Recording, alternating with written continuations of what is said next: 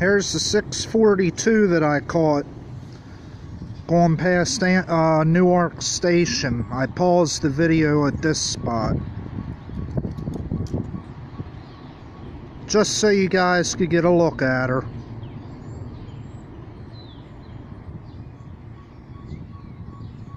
It was actually going fast, but I paused my video right here so you could look at it.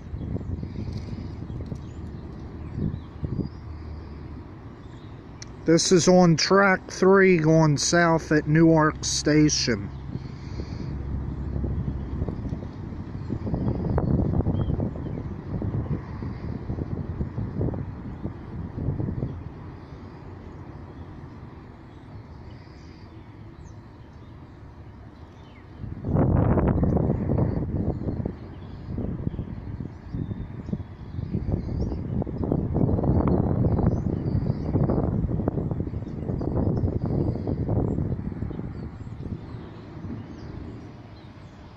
And as you see, that's my phone.